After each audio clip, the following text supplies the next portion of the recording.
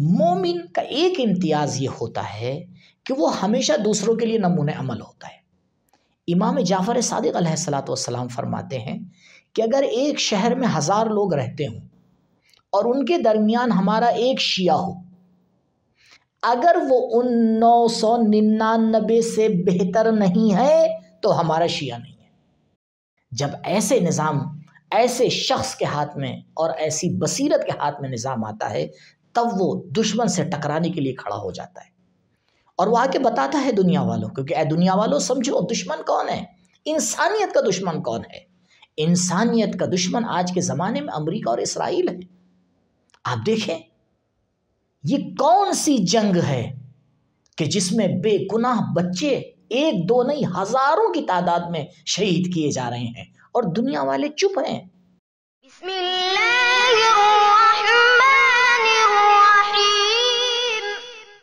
اعوذ باللہ من الشیطان الرجیم، بسم اللہ الرحمن الرحیم۔ الحمد للہ رب العالمین، وصلی اللہ علی محمد و اہل بیتہ العطیبین الاطہرین واللعنت الدائمت علی اعدائہم اجمعین۔ اللہم عجل لولیک الفرج۔ محترم سامعین و ناظرین، سلام علیکم ورحمۃ اللہ وبرکاتہ۔ صادقین فاؤنڈیشن کی طرف سے مسابقے زمزم غدیر کے حوالے سے جو مسلسل پروگرام آپ کے سامنے پیش ہو رہے ہیں، اس میں آج کے پروگرام میں آپ کی خدمت میں اس عنوان کے ذیل میں گفتگو کرنا ہے کہ نظام ولایت فقیح کے اثرات عالمی پیمانے پر کیا ہیں۔ اب تک ہم نے آپ کے سامنے نظام ولایت فقیح کے جو دلائل تھے، عقلی اور نقلی، اور جو اعتراضات تھے، اس کے جوابات آپ کے سامنے پیش کیے۔ اور اب انشاءاللہ اسی کے ذیل میں آپ کے سامنے ان باتوں کو پیش کرنا چاہ رہے ہیں کہ آج جو الحمدللہ امام خمینی قدس اللہ نفسہ الزکیہ کی کوشش اور ایران ملک کے شیعہ لوگوں کی کاوش اور محنت سے جو ایک اسلامی نظام ہمارے سامنے آیا، جس کو دنیا نے آج تک نہیں دیکھا تھا۔ ایک بہترین نظام بنام نظام ولایت فقی بروئے کار آیا۔ تو ان گزشتہ چوالیس پینتالیس سال میں ہم نے اس کے کیا اثرات دیکھے؟ دیکھیں، جب انسان کسی چیز کی حقیقت کو نہیں سمجھ پاتا تو اس کے اثرات سے آ کے اندازہ لگاتا ہے کہ وہ چیز مفید ہے یا نقصان دہ۔ مثال کے طور پر، ڈاکٹر آپ کو کوئی دوا لکھ کے دیتا ہے۔ آپ کو نہیں پتا اس دوا میں کیا چیزیں ڈالی گئی ہیں، کیا بنایا گیا ہے۔ تو آپ جب اس دوا کو کھاتے ہیں اور آپ کی بیماری بہتر ہوتی ہے تو آپ تعریف کرتے ہیں۔ تو آپ کو یہ نہیں پتا کہ دوا کی حقیقت کیا ہے۔ لیکن دوا کے اثرات سے آپ کو سمجھ میں آ گیا کہ کام اچھا ہوا ہے۔ لیکن اگر دوا کھانے کے بعد آپ کی حالت اور خراب ہوتی ہے تو آپ باتیں سناتے ہیں ڈاکٹر کو کہتے بھائی یہ کون سی دوا لکھ دی؟ تو ضروری نہیں ہے کہ ایک چیز کی حقیقت پتہ چلے، تبھی ہم آ کے کوئی رزلٹ لے پائیں۔ نہیں، بلکہ ایک چیز کے اثرات سے بھی اس کے صحیح یا غلط ہونے کا نتیجہ سامنے آ جاتا ہے۔ اس کے اچھے اور برے ہونے کا نتیجہ سامنے آ جاتا ہے۔ تو لہٰذا ایک طریقہ یہی ہے کہ ہم آپ کے سامنے اس نظام کے فوائد اور اس کے اثرات کو بیان کریں تاکہ ہم اور آپ دیکھیں کہ اس نظام نے دنیا میں کیا انقلاب پیدا کیا۔ سب سے پہلا اثر جو اس نظام اور نظام ولایت فقی کا دنیا میں ہوا ہے، وہ ہے اتحاد اور ہمدلی۔ پروردگار قرآن میں آ کے تاکید فرما رہا ہے، وَاعْتَسِمُوا بِحَبْلِ اللَّهِ جَمِيعًا وَلَا تَفَرَّقُوا اے مسلمانوں، اے مومنوں، اللہ کی رسی کو مضبوطی سے تھام لو اور تفرقہ نہ کرو۔ تفرقہ نہ کرو۔ آپ دیکھیں، اس نظام کی بدولت الحمدللہ تشیعوں میں کتنا اتحاد پیدا ہو گیا۔ آج وہ ممالک جو مخالفت کرتے تھے، انہی نے بھی اپنا سرے سر تسلیم کی حالت میں جھکا کر اس بات کو قبول کر لیا کہ ہاں ہم آپ کے ساتھ ہیں۔ یہی ہم بھی کہنا چاہتے تھے۔ ہم بھی یہی کرنا چاہتے تھے۔ ولو وہ پیچھے کچھ اور کر رہے ہوں۔ لیکن کم سے کم ظاہر میں ساتھ دینے کے لیے کھڑے ہو جاتے ہیں۔ اور اس نظام نے دنیا والوں کے سامنے اتحاد کا بہترین نمون عمل پیش کیا۔ جب امام خمینی علیہ رحمہ نے ہفتہ وحدت کو آ کے تاسیس کیا، جب آپ نے جمعۃ الوداع کے دن یوم قدس کو آ کے تاسیس کیا اور آ کے بتایا کہ ہم صرف ایرانی باشندوں کے بارے میں سوچتے نہیں ہیں، بلکہ ہم پوری دنیا کے بارے میں غور کرتے ہیں۔ ہاں لیکن ہمارا دائرۂ کار کیونکہ ہماری سرحدیں ہیں اور انٹرنیشنل قوانین کے حوالے سے ہم اپنی سرحدوں کے باہر اپنے قانون لاگو نہیں کر سکتے، لیکن کم سے کم ان کے بارے میں سوچ تو سکتے ہیں۔ کم سے کم ہم ان کو آ کے مشعل راہ تو دکھا بن سکتے ہیں ان کے لیے، ان کو راستہ تو دکھا سکتے ہیں۔ لہٰذا سب سے پہلا اور بہترین فائدہ اس نظام کا لوگوں کے درمیان اتحاد ان کے درمیان ہمدلی کا ہونا۔ اور آپ دیکھ لیں، پچھلے زمانے کے بنسبت یہ اتحاد کتنا بڑا ہے۔ یہ ہمدلی کتنی بڑی ہے۔ جو یہاں وقائع رونما ہوتے ہیں، اس میں آپ دیکھیے پبلک کس طرح سے آ کے ساتھ دیتی ہے۔ پبلک کس طرح سے سڑکوں پہ اتر کے آ کے متحد ہو کر اس نظام کی آ کے حمایت کرتی ہے۔ نہ صرف اس ملک کے اندر، دوسرے ممالک میں بھی آ کے تائید کی جاتی ہے، حمایت کی جاتی ہے۔ ہم دلی کا اظہار کیا جاتا ہے، یہ بہت بڑی برکت ہے۔ اور ہمیں اس برکت اور اس نعمت کی قدر کرنا چاہیے۔ دوسرا فائدہ جو اس نظام کا ہم آ کے دیکھتے ہیں اور سمجھتے ہیں، وہ ہے سربلندی تشیع۔ سربلندی اسلام۔ روایات آ کے کہتی ہیں، الاسلام یعلو ولا یولا علیہ۔ اسلام ہمیشہ سر بلند ہے اور کوئی چیز اس کے اوپر نہیں آ سکتی۔ اسی لیے آپ دیکھیں، اس نظام ولایت فقی کے ٹائٹل میں لکھا ہوا ہے جمہوری اسلامی، ایک اسلامی ملک ہے۔ پوری دنیا میں جب اس ملک کی کوئی بات اوپر ہوتی ہے تو اسلام کی بات اوپر ہوتی ہے۔ اپنے پھریرے اپنے جھنڈے کے اوپر لا الہ الا اللہ لکھ لینے سے اسلام کی سر بلندی نہیں ہوتی ہے، بلکہ اپنے عمل کے ذریعے سے دنیا کو دکھایا جاتا ہے کہ اسلام کی سر بلندی کس چیز میں ہے۔ آج اس نظام نے، اس نظام میں ولایت فقیح نے وہ کام کیے ہیں کہ جس کے ذریعے سے اسلام کی سر بلندی پوری طرح سے ہمیں نظر آ رہی ہے۔ انتم الاعلون روایات کہہ رہی ہیں۔ انتم الاعلون تم لوگ بلند افراد ہو۔ تو اگر ہم بلند افراد ہیں، پروردگار نے ہمیں بلند افراد میں آ کے خلق کیا ہے، تو پھر ہم کیوں نہ ایسا کام کریں کہ جس کے ذریعے سے ہماری بلندی پوری دنیا کے سامنے رونما ہو جائے۔ ایک تیسرا فائدہ جو نظام ولایت فقی کا ہمارے اور آپ کے سامنے آتا ہے، وہ ہے لوگوں کے سامنے دل گرمی کا اور سکون کا اظہار ہونا۔ قرآن بڑی خوبصورتی سے آ کے اس بات کو پیش کرتا ہے۔ اللہ بذکر اللہ تطمئن القلوب۔ کیا تم نہیں جانتے ہو کہ اللہ کا ذکر لوگوں کے قلوب میں آ کے اطمینان پیدا کرتا ہے؟ اللہ کا ذکر کبھی نماز کی صورت میں ہوتا ہے۔ اللہ کا ذکر کبھی لا الہ الا اللہ کہہ کے ہوتا ہے۔ اور اللہ کا ذکر کبھی عملی صورت میں ہوتا ہے۔ کبھی کسی غریب کی مدد کر کے ہوتا ہے۔ کبھی کسی بے نوا کا ہاتھ تھام کے ہوتا ہے۔ اور کبھی ایک اسلامی حکومت بنا کر ہوتا ہے۔ آج دیکھیں، لوگوں میں، دنیا میں جو بے پناہ لوگ ہیں، دنیا میں وہ لوگ جن کے اوپر ظلم ہو رہا ہے۔ اگر کسی ملک کو اپنا آئیڈیل مانتے ہیں، اگر کسی ملک سے یہ توقع رکھتے ہیں کہ وہ ان کی مدد کرے گا، تو وہ وہی نظام ہے جہاں پر نظام ولایت فقی رائج ہے۔ آج آپ غزہ کے حالات کو دیکھ رہے ہیں۔ آج آپ دیکھ رہے ہیں کہ یمن آ کے بلند آواز میں یہ نعرہ لگا رہا ہے کہ صرف ایران اور نظام ولایت فقی ہے جو مظلوموں کی مدد کر رہا ہے۔ مظلوموں کی مدد کرنے کے لیے وہ یہ نہیں دیکھتے ہیں کہ ان کو شہید دینا پڑ رہے ہیں، ان کا نقصان ہو رہا ہے، ان کے اوپر پابندیاں لگ رہی ہیں۔ روز بر روز ان کے اوپر پابندیاں لگ رہی ہیں۔ ان کے ملک میں مشکلات کھڑی ہو رہی ہیں۔ وہ ان تمام چیزوں کو نادیدہ کر دیتے ہیں، صرف اس لیے تاکہ وہ ایک مظلوم کی حمایت کر پائیں۔ کم سے کم مظلوم کے دل میں یہ تو ہو کہ ہاں کوئی ہے جو ہماری آواز پہ لبیک کہنے والا ہے، کوئی ہے جو ہماری حمایت کرنے والا ہے، جو کوئی ہے جو انٹرنیشنل سطح پہ آ کر یو این او میں ہماری حمایت میں بولنے والا ہے۔ آپ بتائیں، اس نظام کے علاوہ کون ہے جو اس طرح کا کام کر رہا ہے؟ اور اگر کوئی کر رہا ہے تو وہ بھی انہیں سے سیکھ رہا ہے۔ اگر حزب اللہ ایک قدم آ کے اٹھا رہا ہے تو حزب اللہ کا آئیڈیل نظام ولایت فقی ہے۔ اگر انصار اللہ یمن کے اندر آ کے کوئی قدم اٹھا رہے ہیں، تو ان کا آئیڈیل نظام ولایت فقی ہے۔ اگر عراق میں مدد کرنے کے لیے غزہ کی وہ لوگ تیار ہوتے ہیں، تو ان کا آئیڈیل نظام ولایت فقی ہے۔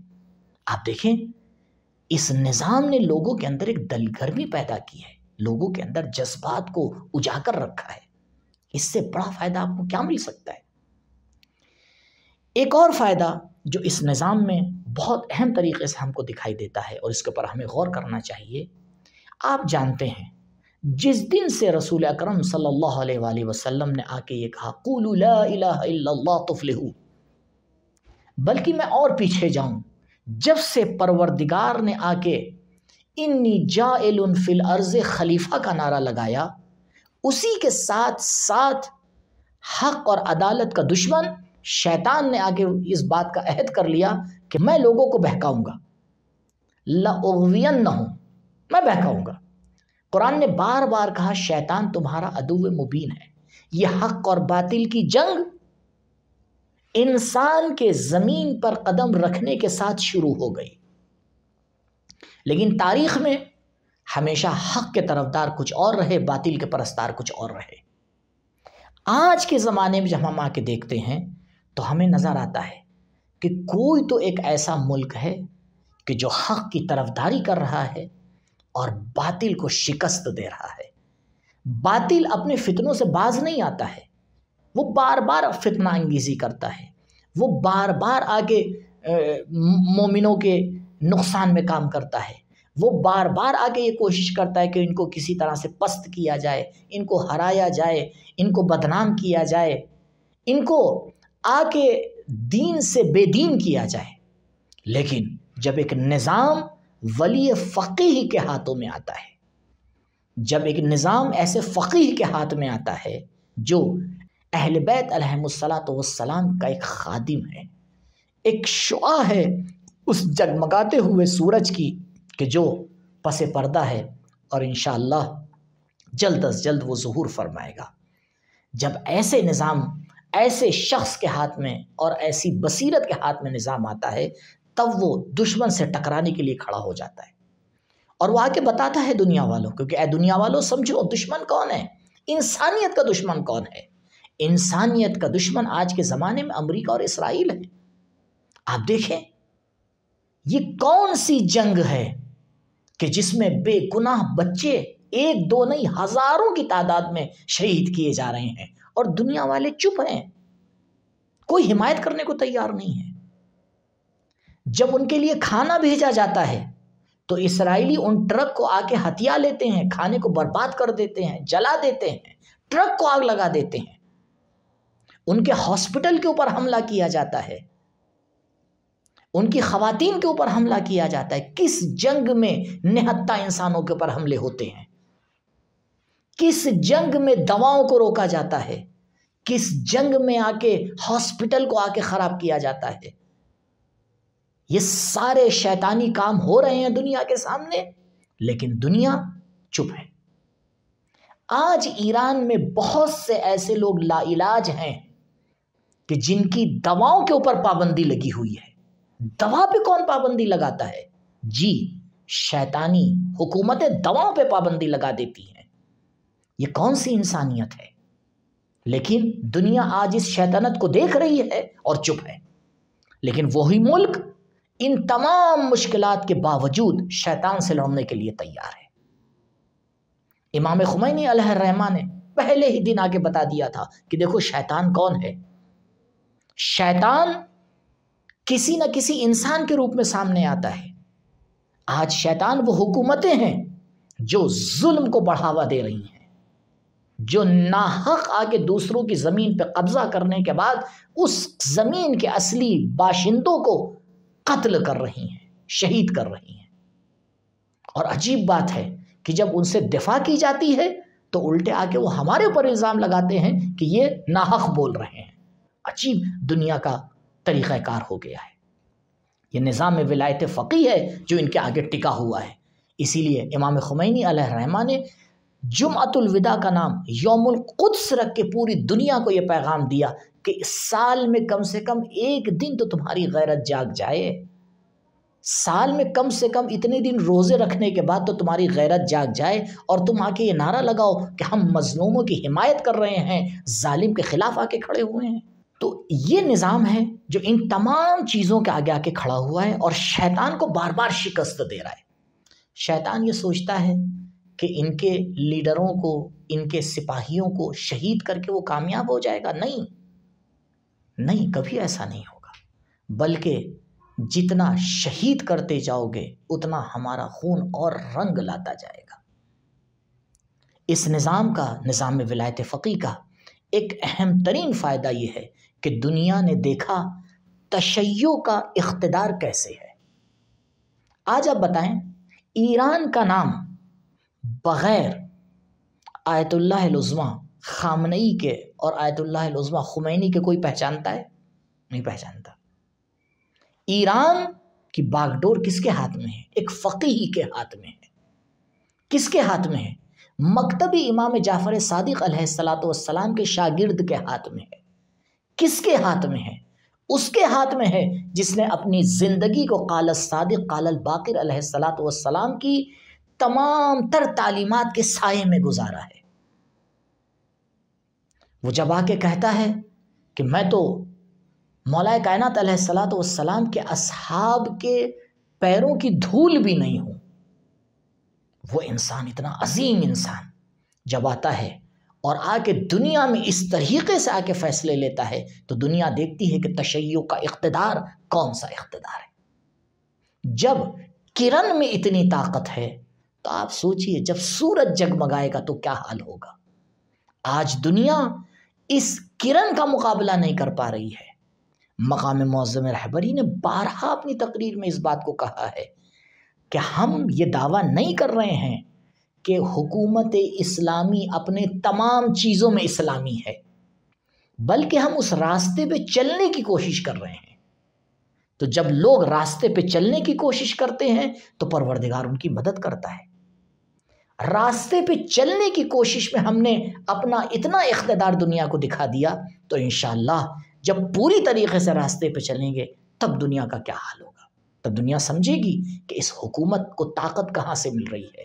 یہ انسانی طاقت نہیں ہے، بلکہ یہ شباہت رکھتی ہے اسی طاقت سے کہ جو جنگ خیبر میں مولا کائنات علیہ السلاۃ والسلام نے آگے بیان کیا تھا کہ ما قلع تو بابا خیبرن بقوت جسادانیہ بل قلع تو ہو بقوت ربانیہ۔ علی ابن ابی طالب نے باب خیبر کو جسمانی طاقت سے نہیں اکھاڑا ہے، بلکہ ایک روحانی طاقت سی کہ جس سے مولا کائنات علیہ السلاۃ والسلام نے باب خیبر کو الگ کر کے رکھ دیا۔ یہ حکومت کوئی انسانی طاقت کے اوپر نہیں چل رہی ہے، بلکہ تعیدات الہی ہیں ربانی طاقت ہے۔ اسی لیے جب آ کے ہمارے نظام میں فقیح کو چنا جاتا ہے تو اس میں شرط لگائی جاتی ہے۔ کہ فقیح کو عادل ہونا چاہیے فقی کو پرہیزگار ہونا چاہیے۔ آپ ان کی زندگی کو آگے دیکھیے، کس طرح کی زندگی ہے۔ آج اس حکومت کا پریسیڈنٹ جب آ کے اس دنیا سے جاتا ہے اور اس کی زندگی کو آ کے تلاش کیا جاتا ہے، اس کی زندگی کو آ کے دیکھا جاتا ہے اور غور کیا جاتا ہے، تو پتہ یہ چلتا ہے کہ وہ انسان آغا رئیسی خدا وند غریق رحمت فرمائے، جب پتہ چلتا ہے کہ تین سال تک وہ حرم امام رضا علیہ السلاۃ والسلام کے متولی تھے۔ تین سال میں انہیں نے ایک پیسہ بھی اپنی تنخواہ کے طور پر نہیں لیا۔ اور جب تین سال کے بعد ان کا عہدہ بدلا، تو جب ان کو وہ پیسہ دیا گیا تو انہیں کہا، نہیں، مجھے یہ پیسہ مت دیجیے بلکہ مجھے کوئی زمین دے دیجیے تاکہ میں اس پیسے سے اس زمین کے اوپر ہاسپٹل بناؤں۔ تو حرم امام رضا علیہ السلاۃ والسلام کی طرف سے ان کو زمین دی گئی اور اس زمین کے اوپر ہاسپٹل بنایا گیا۔ یہ ہیں ہمارے لیڈر۔ یہ وہ لوگ ہیں جو نظام ولایت فقیح ماں کے خدمت کرتے ہیں۔ یہ اہل بیت علیہ السلاۃ والسلام کی سیرت ہے۔ یہ قرآن کا بتایا ہوا راستہ ہے۔ لہٰذا اس کے اثرات کو شاید ہم اور آپ بہت آسانی سے نہیں سمجھ پاتے ہیں، لیکن دنیا سمجھ رہی ہے۔ آج جو دنیا کے بڑے بڑے حکومتران ہیں، جو بڑے بڑے زمامداران ہیں، وہ سر خم کر کے اس بات کا کے اعتراف کرتے ہیں کہ اس حکومت نے ہمیں نیا راستہ دکھایا ہے۔ اس حکومت نے ہمیں آ کے نئے طریقے سکھائے ہیں اور اس نے ہمیں بتایا ہے کہ اللہ والے جب حکومت کرتے ہیں تو حکومت کیسی ہوتی ہے۔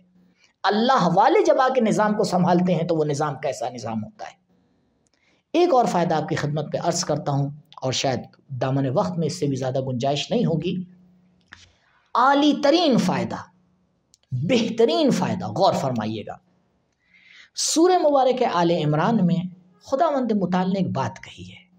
اور وہ بات یہ ہے کہ اے مومنو، تم دوسروں کے لیے نمون عمل ہو۔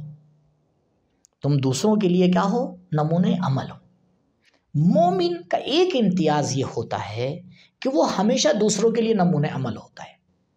امام جعفر صادق علیہ السلاۃ والسلام فرماتے ہیں کہ اگر ایک شہر میں ہزار لوگ رہتے ہوں اور ان کے درمیان ہمارا ایک شیعہ ہو اگر وہ ان نو سو ننانوے سے بہتر نہیں ہے، تو ہمارا شیعہ نہیں ہے۔ یہ معیار ہے تشیع کا۔ تشیع یعنی آئیڈیل ہونا۔ تشیع کا مطلب یہ ہے کہ نمون عمل ہونا۔ اسی لیے آپ دیکھیں مولا کائنات علیہ السلاۃ والسلام اس کی بہترین مثال ہے۔ حکومت دوسرے کرتے تھے، لیکن مشورہ مولا سے لیتے تھے۔ جنگ پہ دوسرے جاتے تھے، مشورہ مولا سے لیتے تھے۔ کیوں؟ وہ جانتے تھے۔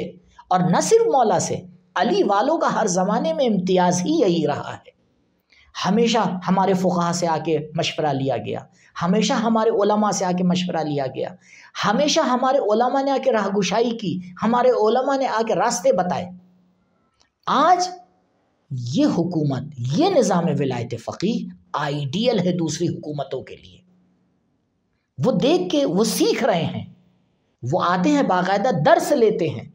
باقاعدہ آ کے ان کے کیا ریسرچ ہوتی ہے کہ بھائی یہ لوگ کرتے کیا ہیں؟ یہ نظام کیسے چل رہا ہے؟ اتنی مخالفت کے باوجود، اتنے سینشن کے باوجود، اتنا جو ہے وہ پابندیوں کے باوجود اپنے پیر کے اوپر کھڑا ہوا ہے۔ اور نہ صرف پیر پہ کھڑا ہوا ہے، بلکہ دنیا میں رینکنگ کے اعتبار سے بہت اعلیٰ ہے۔ یعنی وہ ممالک جن کے پاس ساری سہولتیں ہیں، وہ پیچھے ہیں۔ اور وہ ملک کہ جہاں پر ساری پابندیاں ہیں، وہ آگے ہیں۔ آپ دیکھیں، آپ جائیں، عالمی اخبارات کا مطالعہ کریں۔ دشمن کی خبروں کو نہیں پڑھیں۔ یہ جو نیوز پیپر دشمن آ کے بناتا ہے، یہ جو نیوز دشمن آ کے دیتا ہے، وہ تو اپنے حساب سے دیتا ہے۔ نہیں، صحیح سورس سے آ کے خبر لیں۔ صحیح سورس سے آ کے نیوز لیں۔ اور اس صحیح سورس سے نیوز لینے کے بعد غور فرمائیں۔ تو دیکھیں کہ خدا مند متعال نے کتنا اقتدار، کتنا احترام اور کتنی عظمت اور بلندی ادا کی۔ لیکن یہ عظمت اور بلندی اتنی آسانیوں سے حاصل نہیں ہوئی۔ ہے اس کے لیے خون دیا گیا ہے۔ اس کے لیے ایثار کیا گیا ہے۔ اس کے لیے قربانیاں دی گئی ہیں۔ اس کے لیے عدالت کے اوپر گامزن رہنے کی قسم کھائی گئی ہے۔ آج دنیا کے اکثر ممالک ایسے ہیں جہاں ظلم ہو رہا ہے، جہاں حاکم اپنی رعیت کے اوپر پبلک کے اوپر آ کے حکومت کر رہا ہے، لیکن ظلم کر رہا ہے۔ وہ پبلک کے بارے میں نہیں سوچتا ہے۔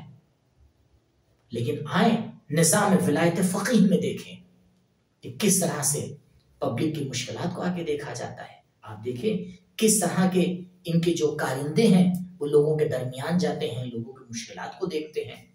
بہرحال انسانی محدودیتیں ہیں۔ بے شک اس پورے خوبصورت نظام میں کہیں نہ کہیں مشکلات تو ہوں گی۔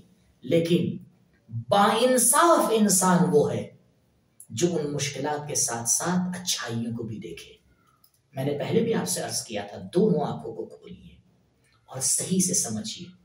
اس لیے ہم آ کے کہتے ہیں کہ نظام میں ولایت فقی کے جو اثرات ہے دنیا میں، وہ بے مثال ہے اگر دنیا اس نظام کو اپنا آئیڈیل بنا لے اور اسی طرح سے نظام کو لاگو کرنے کی کوشش کرے تو وہ دن دور نہیں ہے کہ لوگوں کے درمیان عدالت کی پیاس اور زیادہ اجاگر لوگ سمجھیں گے کہ ہمیں ایک عادل امام کی ضرورت ہے اور وہ زمانہ انشاءاللہ نزدیک ہے کہ پروردگار ان دعاؤں کو آگے اپنی بارگاہ میں قبول کرے اور اس عادل امام کو جو عدالت کا پیکر ہے، جو مال حق ہے اور حق اس کے پیچھے چلتا ہے پردہ غیب سے بھیج دے اور انشاءاللہ وہ عادلانہ نظام اس پوری دنیا کے اوپر قائم ہو کہ جس کے لیے پروردگار نے سورہ مبارک حدید کی آیت نمبر پچیس میں فرمایا ہے لِيَقُومَ النَّاسُ بِالْقِسْطِ۔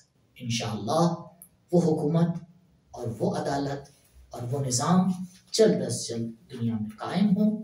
اسی امید کے ساتھ آپ کو خدا مند مطال کے حوالے کرتے ہیں۔ وآخر دعوانا ان الحمد للہ رب العالمین۔ والسلام علیکم ورحمۃ اللہ وبرکاتہ